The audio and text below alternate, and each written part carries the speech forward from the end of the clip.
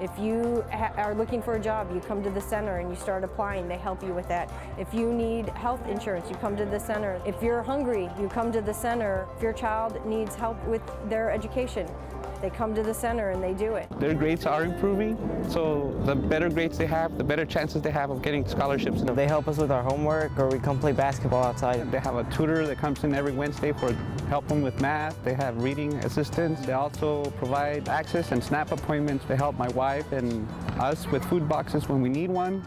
and we enjoy coming here to volunteer, helping out with the other kids. Yeah, Chicanos Por La Casa Community Center. It's a safe place, especially for moms and dads to know where their kids are at. It offers a lot of uh, resources for us adults as well as for the kids.